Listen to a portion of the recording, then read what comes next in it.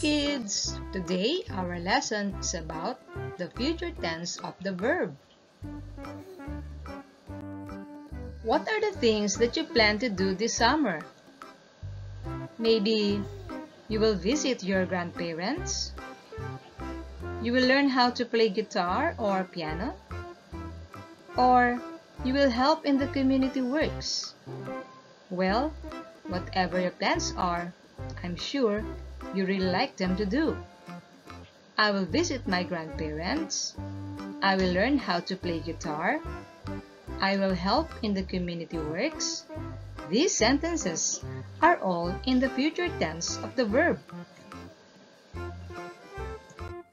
What is the future tense of the verb? The future tense of the verb refers to an action that will take place in the future. For example, I will go to my friend's house on Saturday. I will study my lessons tonight.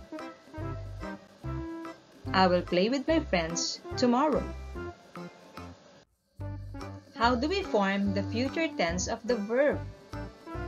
We add will or shall to the main verb. Will or shall plus main verb.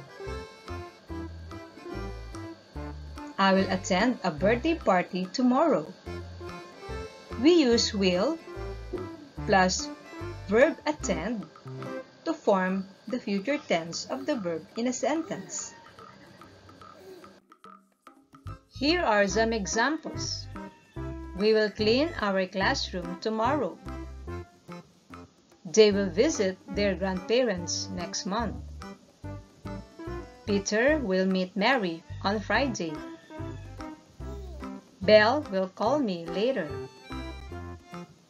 I shall finish my project next week. Tomorrow, next month, on Friday, later, next week are the words used in future tense.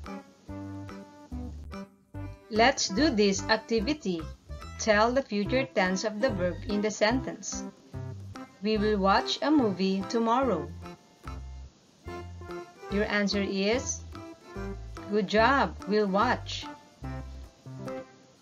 I shall pass the exam next week. Shall pass.